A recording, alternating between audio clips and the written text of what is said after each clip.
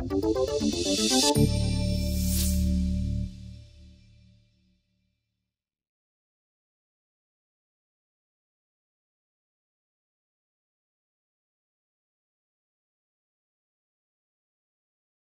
good everyone, my name is Glenn and welcome to Documentation is UX. Um, if you have difficulty understanding me or you want me to repeat something, feel free, I won't be offended. Um, I'm happy to take questions today, although I will have trouble seeing you because I can't see very far with my glasses on. So if I don't answer straight away, it's because you're a blob and I can't see very well. So this talk is called Documentation is UX, and much like my daughter in this picture here, I hold this opinion very loudly as well. Um, we all probably know what documentation is, but what is UX? What is user experience? So of course we search Wikipedia and we find the following reference. According to the Nielsen-Norman Group, user experience includes all of the aspects of the interactions between the end user with the company, its services, and its products. Which is okay. Uh, there's the very comprehensive definition of ISO 9241, which defines the user experience as a user's perceptions and responses that result from the use and or anticipated use of a system, product or service. According to the ISO definition, user experience includes all of the user's emotions, beliefs, preferences, perceptions, physical and psychological responses, behaviors and accomplishments that occur before, after and during use. This list also lists three factors which influence user experience, which is the user, the, the system and the context of use. That's a big list of stuff. Um, you know, emotions, beliefs, preferences, perceptions, before, during, and after use. I mean, it makes sense. A user's, perception of a thing will affect their experience when they use it. So if you're told that an app has a bad UX and you use it for the first time, you're going to assume that it has a bad UX. But importantly, there is no mention of a user interface in that definition. Because while the user interface is an important part of the experience, it is not the only part of the experience. So no matter whether an application is a mobile app or a website or a CLI tool, the principles of UX design still broadly apply. So let's look at some basic UX patterns in graphical user interfaces. This is a screenshot of a well-known and possibly local retail company. It's pretty busy with lots of things to look at, but have a look at the top left there. What are those three horizontal lines for? And this is the audience participation part. Hamburgers, Hamburgers, what do they do? More menus. It's a menu. Very good. It opens up a menu. This is the PowerShell 7.3 documentation site. And again, in the top left, there's this small v. What does that do? More menus. Option. Yep. Excellent. You're doing well. Uh, yeah, so we can expand the box for, for more information. There was also some blue text, which may be a little bit difficult to see there. Um, why is it different? How could I for, find out more information about that blue highlighted text? It's a link, that's right. So you can hover over it, click it, things like that. So what about mobile or cell phones? Um, how would I remove the themes icon and get rid of it from the home screen?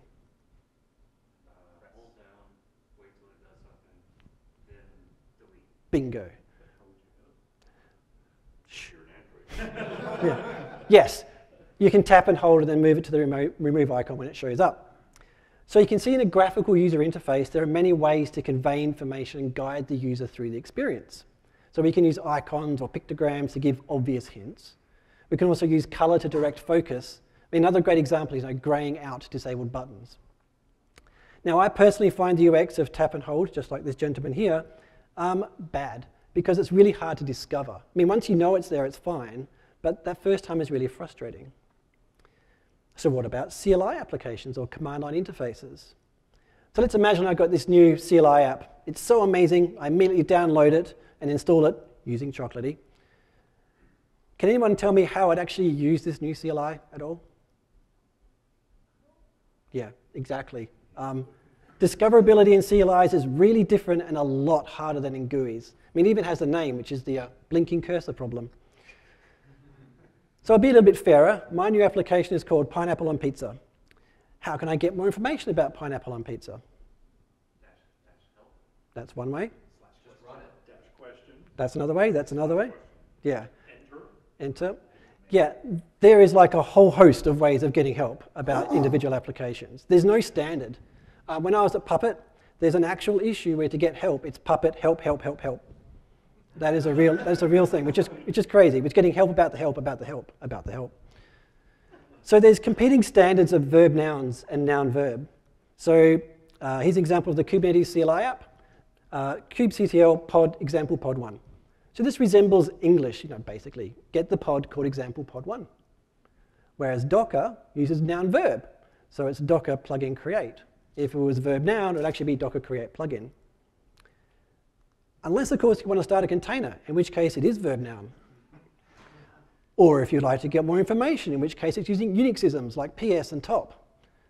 Or if you want to remove an image and it's using an abbreviation instead. To be clear, Docker isn't the only CLI app out there that uses different language standards and metaphors poorly. And it makes you context switch in your brain depending on the task you want to achieve, which leads to a more frustrating user experience.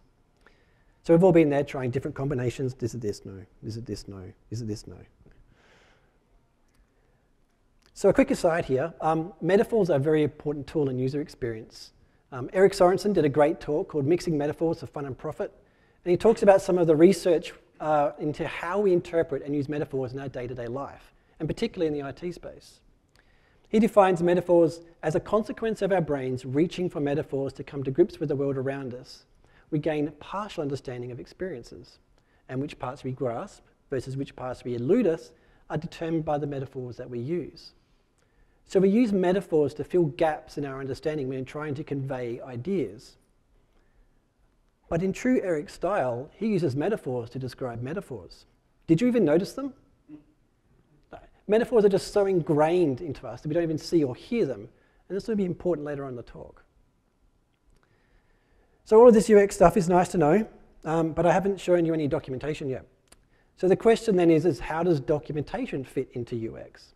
Let's work through some scenarios. Imagine you got this new gadget, could be a new laptop, piece of software, new chair, coffee grinder, take your pick. You've got this new thing, you unwrap it, take all the plastic off, and then you realize you have no idea how to use this thing. So you reach for the documentation. So that documentation is meant to guide you through the first use of that product from unwrapping and building or assembling. So here's two examples of that. You bought a new bookcase from IKEA. You get given it in flat pack formats which you have to assemble. And that assembly manual, the documentation, is part of the experience of using that bookcase. Now have a think about that. As soon as I showed this and I mentioned the word IKEA, did you have an emotional response to what I said? Yeah, you've heard or you've either done it or you've heard of other people struggling to assemble this stuff. So remember back to the definition of a user experience, beliefs and emotions before and after using that product. This document is truly part of the user experience. But consider this.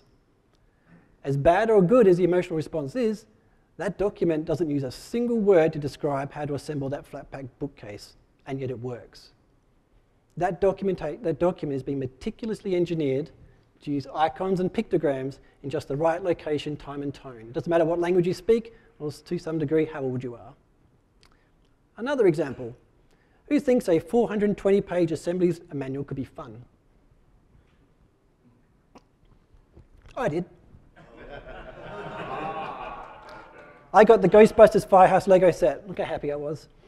Um, this set has over 4,500 pieces and is so much more complicated and intricate than a bookcase but it shares some similarities. The documentation doesn't use words to describe how to assemble the firehouse, and yet it works. Again, that document has been meticulously engineered to use icons and pictograms in the right location, time, and tone. Doesn't matter what language you speak or how old you are. And that's very important with Lego because catering for children is really difficult. The user experience with Lego is paramount. But consider this why does a Lego manual have a different emotional response to an IKEA manual? Because in my opinion, the Lego manual is more than just assembly instructions. It has backstory, it has characters, it has information about who designed the set. Even the cover of the instructions isn't bland, it's telling a story, and we all love stories. So Lego is probably one of the most outstanding examples of documentation contributing to the overall user experience. So that's first use.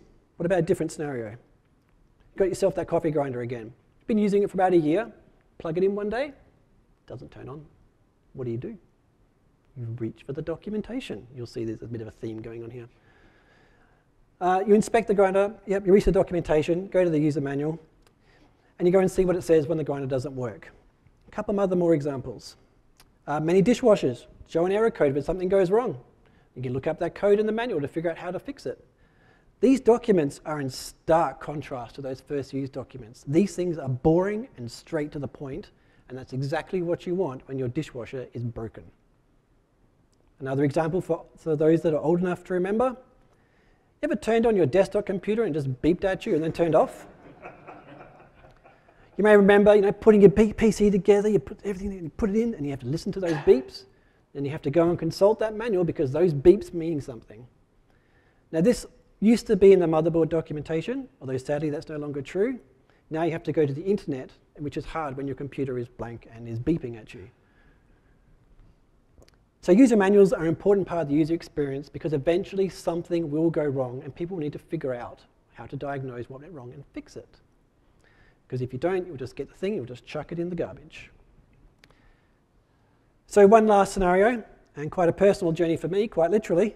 Um, I used to do a lot of amateur car racing, which of course meant working on my car's engine and the brakes, electronic systems. Uh, that is actually me, my CC Lancer at a local racetrack.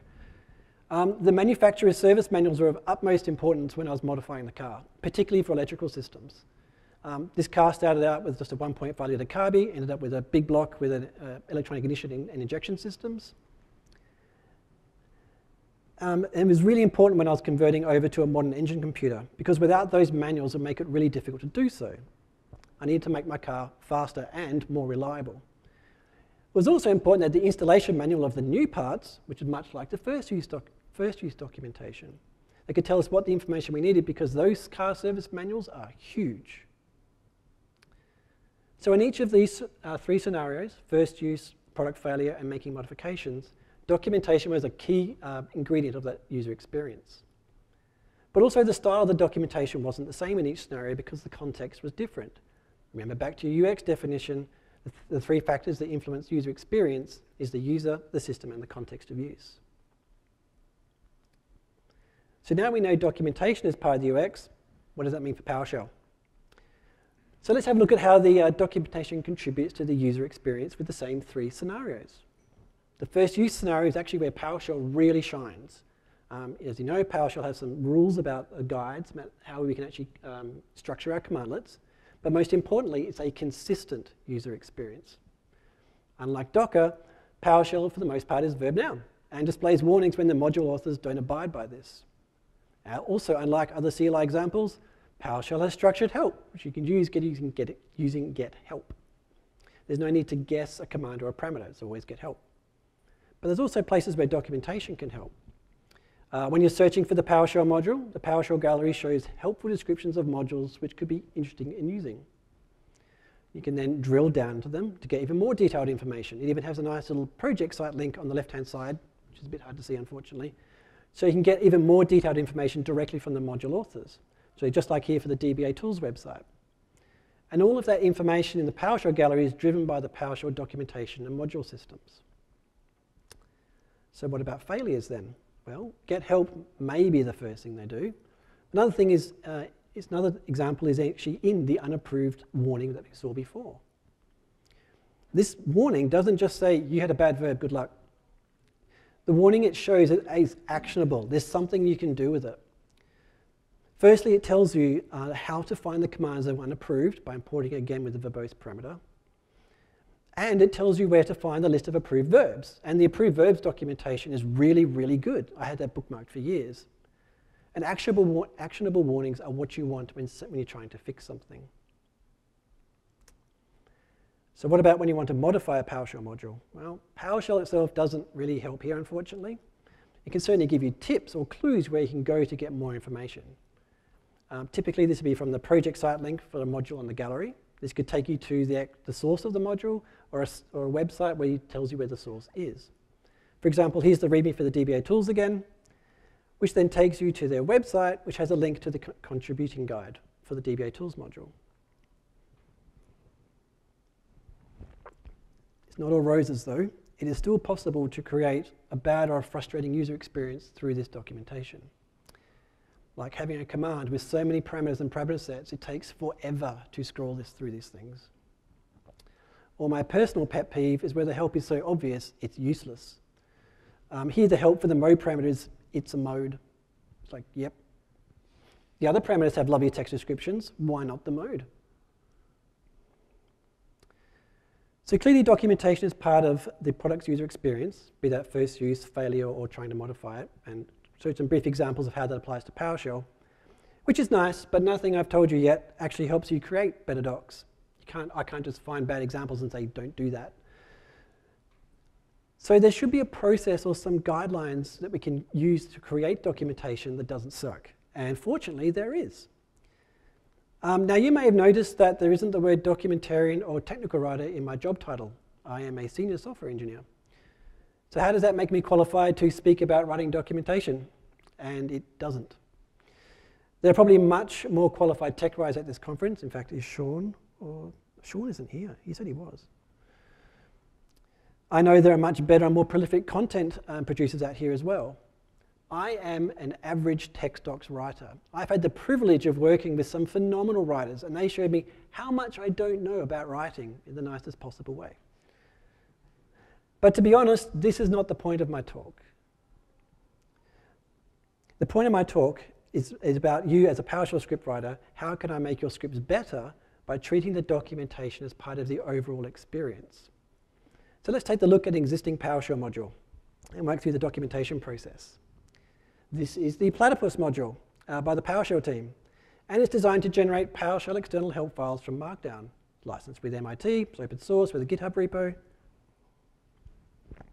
has some existing documentation, but I think we can review it and see if we can make some improvements. Now, why did I choose this module? Um, honestly, I thought it'd be fun to document the documentation module. And it's named after a platypus, so of course I have to pick it because there are no kangaroo or koala modules on the gallery. So, where do we start this process? We start at the beginning and ask some basic questions. The first thing we need to ask is what do people want to achieve from our documentation and who should be reading it? These are important questions to think about because there's no point writing something that no one will read. And the goals people want to achieve don't have to be specific. In fact, they, need to be, they can be very broad, like, I would like to know if I can even use the Platypus module on my computer. In fact, at this stage of the, of the documentation process, it is best to think more broadly.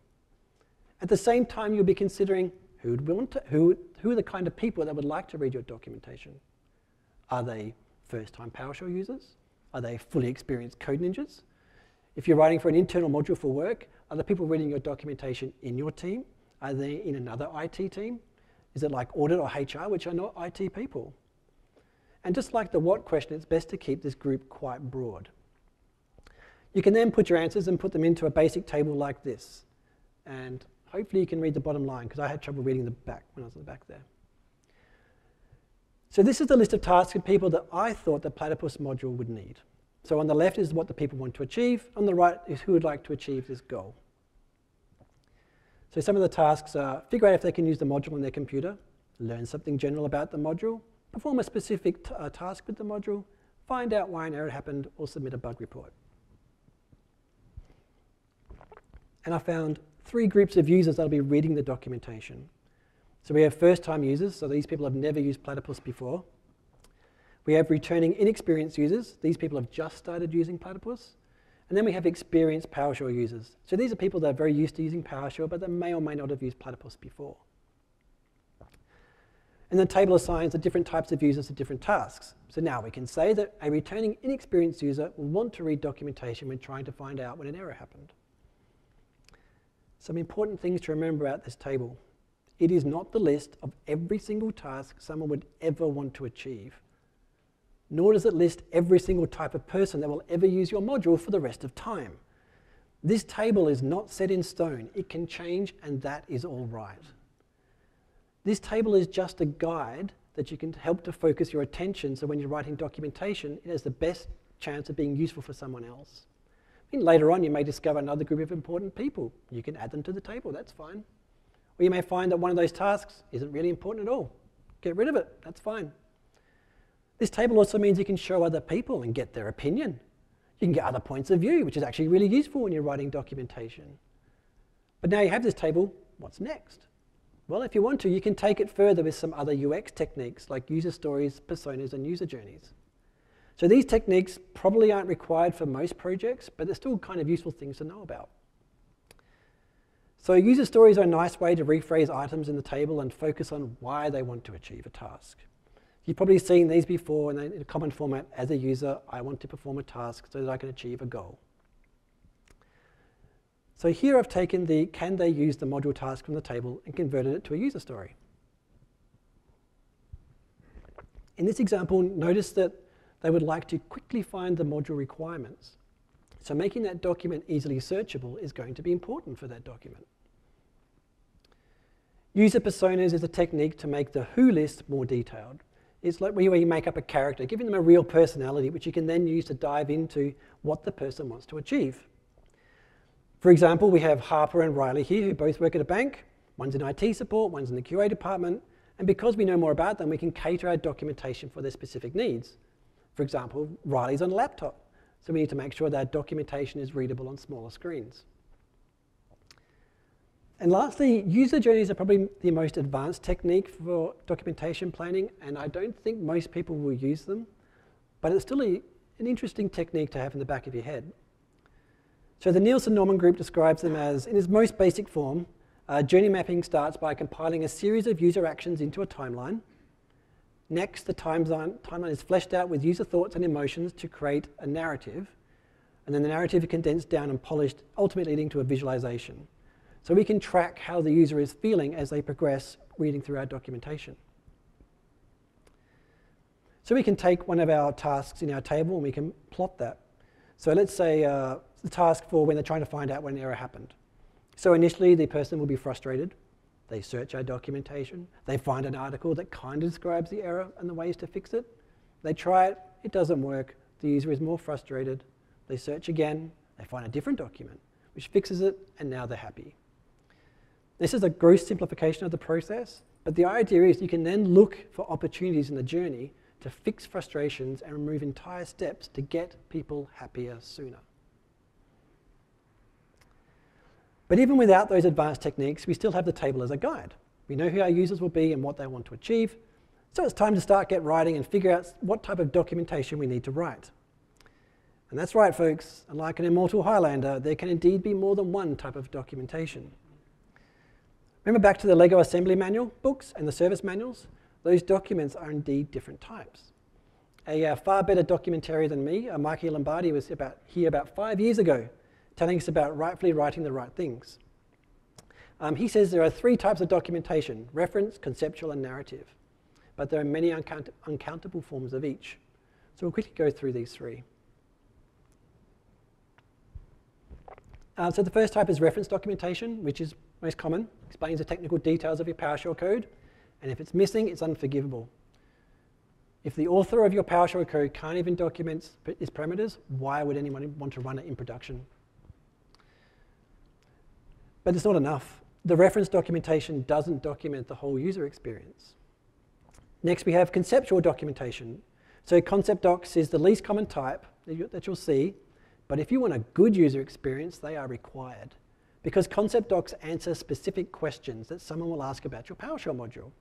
Why does the, how, so why does the PowerShell module solve the problem in this way? Did we consider, consider using a different language or approach? Some more important questions. How would I set up this PowerShell module in a more secure environment? Classic examples, how would I use secrets in this PowerShell module? When should I use this module? I mean, this is a question that not many people answer in their documentation. Well, how is this module architectured? Because for bigger modules, say things like DBA tools, it has a large number of commandlets with a huge surface area. How is the module structured internally to make sense of it all? And lastly is narrative documentation. So they explain uh, how and why a user would do a task. And these tasks mostly align to all of those tasks I had in the table there. The difference is, though, they come in the format of a story. Now, first there was a problem, then they started making progress, and then there was a setback, then they solved the problem and everything was happy. And because it's a story, it's the most effective type of documentation because humans are basically hardwired to remember stories. So it also guides the user to the generally correct way of doing things. So if a user was just fumbling around looking for information, they're likely to read and remember your story and get it right the first time without too much effort. So there may only be three types of documentation, but they can take many forms. I mean, as users, we tend to read reference documentation with Get Help, be it within the console or via online link to a web page. We'll also read module-specific reference, inf reference information like minimum PowerShell version, which is in the module's PSD file, um, or when getting help about the module in the console. These are the places where users are expecting to find in-depth technical but bland information. Conceptual documentation, on the other hand, tends to be found in the source repository for the module, typically in the README file. For example, the Platypus module has a section in the README called Why, which explains why the module exists and what the problem it solves. However, you can also find conceptual information in many of the about topics. For example, the about functions topic describes in great detail how functions work within PowerShell. Narrative documentation tends to be found in the module's README. Good examples are the Getting Start guides or quick starts. The PowerShell gallery may have some as well. But the bulk of narrative documentation tends to be on external sites. It could be blogs about using a module or videos or even conference talks like this. So those are Mikey's three types of documentations. Um, there is also a really good book, which I'm going to show you in a second. Um, Docs for Developers. I've got my copy up here if you want to have a look at it a bit later. Um, you can also buy it from usual bookstores. I don't get a cut or anything like that. It has the byline of most of us have to learn the importance of documentation the hard way by finding it missing when we need it the most.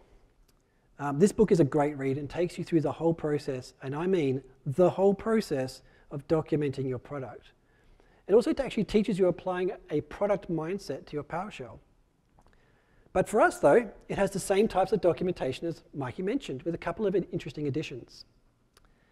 So the authors have reference documentation. They flesh out, they add a few things like a glossary. So if we're using lots of acronyms, that's a good place to put it. Um, also some troubleshooting information. Uh, it also includes change logs and release notes. We also have conceptual documentation just like before. Interesting though, the book chose to use the word procedural documentation instead of narrative. Um, again, procedural docs choose things like tutorials or how-to guides, which generally follow a story style. But the getting started documents are a bit different, and I can understand why. So getting started guides have a very specific goal. They're trying to get someone from knowing nothing about your product all the way to they feel that they're happy that they can do something with the product. And these guides need to be small enough so it doesn't feel overwhelming, but big enough so the reader doesn't get lost. And it's a really tricky balance to get right. But the next two types of documentation, being READMEs, which we covered already, and code comments. Seems strange to include code comments there. Why are they there? Over the past couple of years or so, the term developer experience, or DX uh, for short, is becoming quite common. And DX is basically user experience, but for a specific type of user, the developer, or the person who writes or maintains the PowerShell code. It doesn't have to be a group of people, you just be a single person. Um, who here has written some PowerShell and then six months later you look at it and you go, what the hell was that? I have no idea. Yeah, you just had a bad developer experience.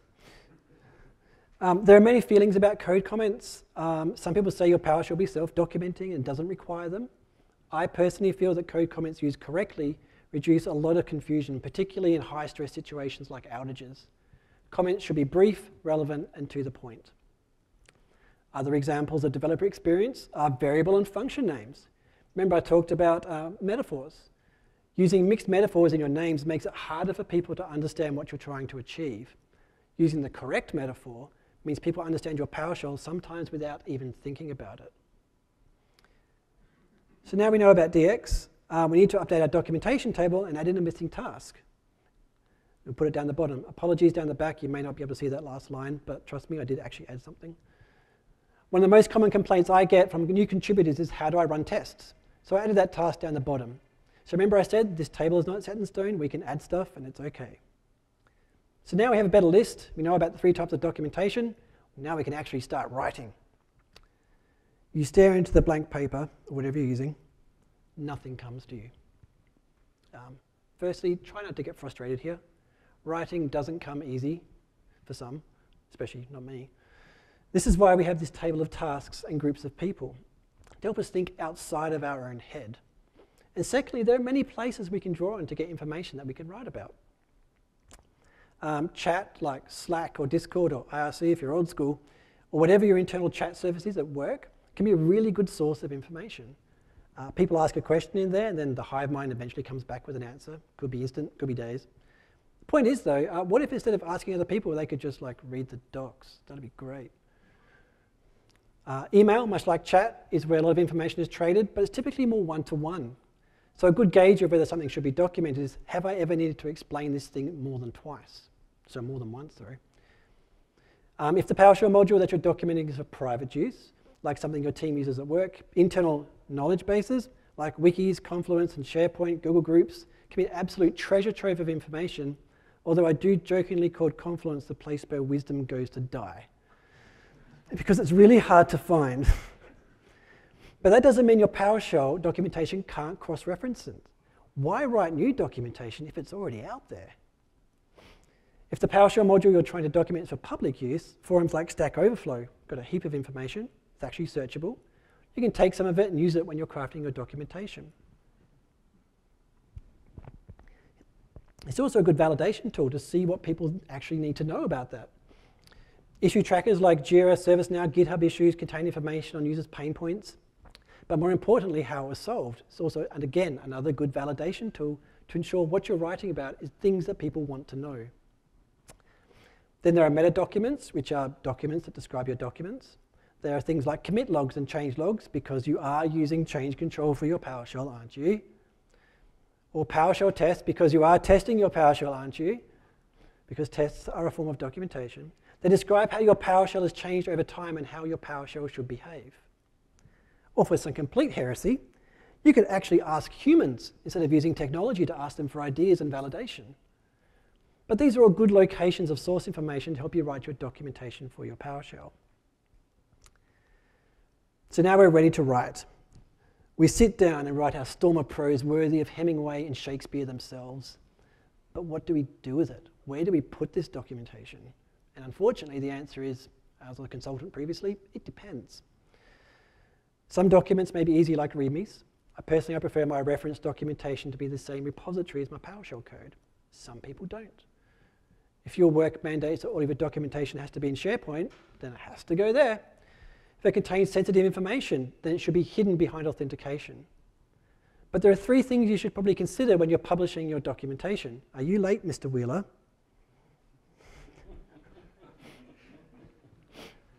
Documents need to be findable, readable, and changeable. If you can't find the document, then no one's going to read it. If you're using a central document store like SharePoint or Confluence, make sure you use labels and tags liberally. Cross-reference it from other documents make it more discoverable.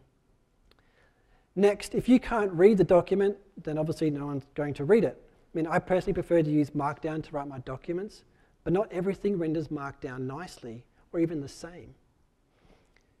If your documentation is the public internet, try reading it on a large screen and a small phone screen, because can both users actually read that same document? But you may also consider creating the document in different formats, like PDF or HTML, to make it easier for people to read, although doing that usually isn't required. And lastly, and I feel the most forgotten part, is your document should your documents should be changeable. Information changes, people change, concepts change, and so too should your documentation.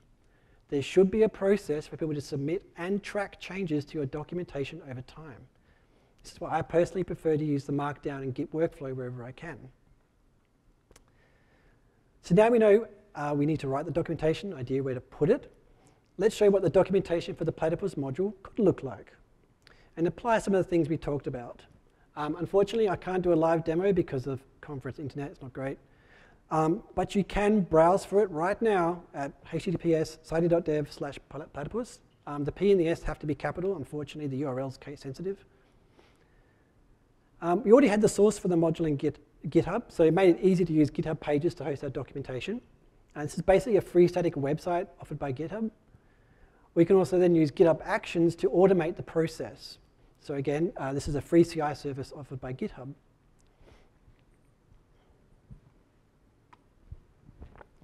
Okay, so um, now we know how we'll publish the content.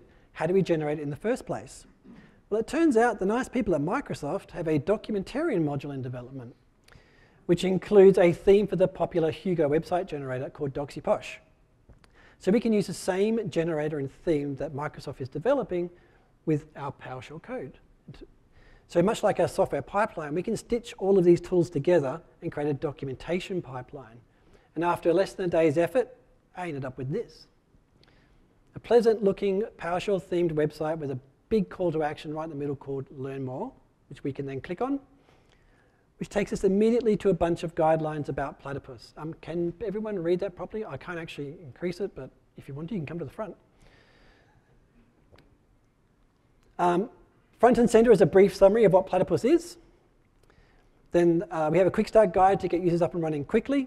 There's a concept guide about why you'd want to use this module and what scenarios this module should be used, all readily available and easy to find.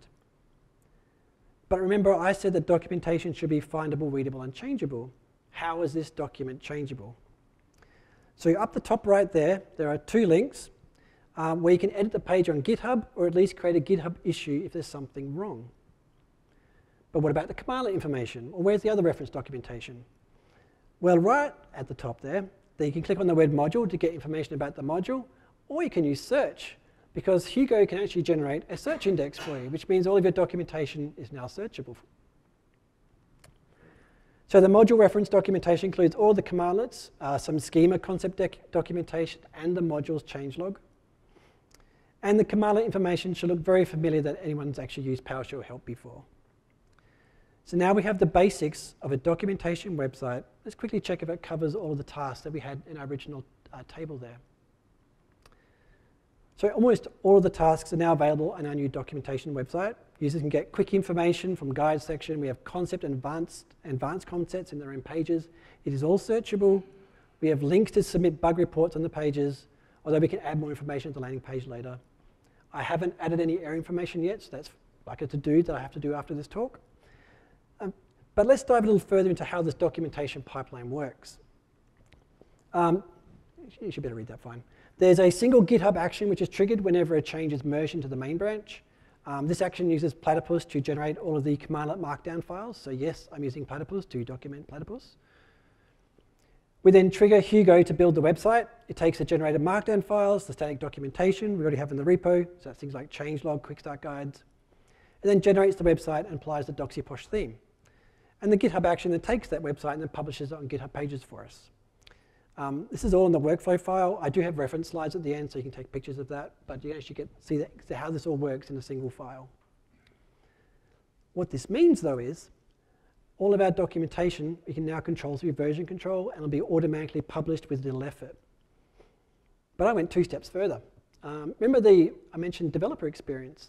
How can we make it easier for people to contribute to our documentation? Well, first we needed faster feedback. It's too late to a documentation change only to see your glorious typo published for all to see. And because VS Code is the preferred editor for this project, I added a task that can run the Hugo service locally. So if you have Hugo installed, you can build the docs website on your local computer and view the changes immediately. So you can make very fast changes to your documentation, and see how they'll look straight away. But not everyone has VS Code or Hugo installed. So I improved the GitHub pull request experience on GitHub by adding a service called Netlify. Who's anyone used Netlify or heard of it? Just one, two? Okay. So Netlify has a huge list of features, and the one that I was interested in was preview builds. So this feature would generate a preview of the documentation website whenever a GitHub pull request is created. This means when someone wants to make a change to the documentation, Netlify would generate the documentation website with a unique URL that we can look at prior to merging the changes, which makes it easier for both the contributor and the maintainer to actually see what is going to be on the website before we even merge that. And then Netlify puts a you know, nice little URL down the bottom, which I've highlighted there, that you can just go and click straight away. There's a lot more we could do to improve the, the developer experience here, but these two are a really good start. So all up, um, setting that up from just a source PlatyPS repo took a day using free open source tools. And that was really just the foundation. If I was an actual PlatyPS module author, I'd actually finish up the error documentation, then revisit my task table and see what other things users need. But please remember, what I'm showing you today is just one way of actually doing this. There are many ways to actually generate documentation pipelines, and I really would actually like to hear what, your ideas on how we can do it differently.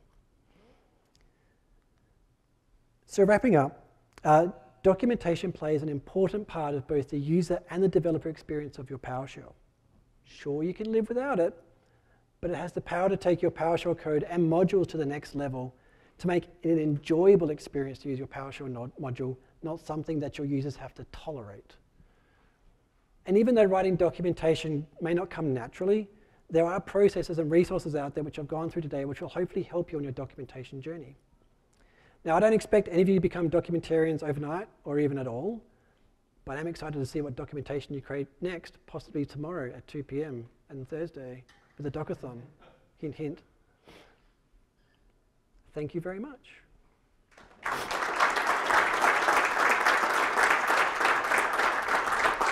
Um, got the speaker ratings down the bottom. I've got my link to the actual site, and in a few seconds I'll put up the resource slide so you can all take a photo of that.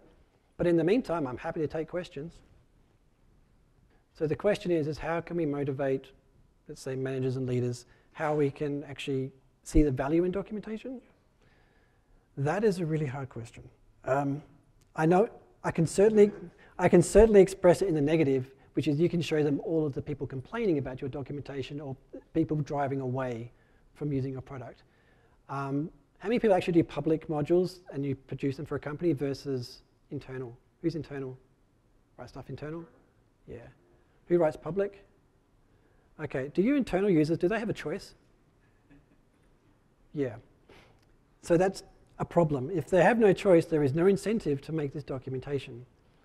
However, just I can't give you a straight answer for this because I don't know how to make it easy because it's a sociological problem. Talk to your users, feel their pain. Get the management to talk to their users. Get the user to talk to the management, even better. Get them to complain about it. The, the, the, Yeah. the impetus to write decent documentation on a private module so they don't come bug you all the time. Yes. That is, that is also a negative, a kind of negative thing to actually encourage people by, uh, yeah, stop people bugging you. Anything else? Uh, no? If you do, I do actually have a local copy if you want to come and play with it. I've got the book up here if you want to come and read it. It's a really good book. I'll be around all conference, so come and see me if you want. Thank you very much.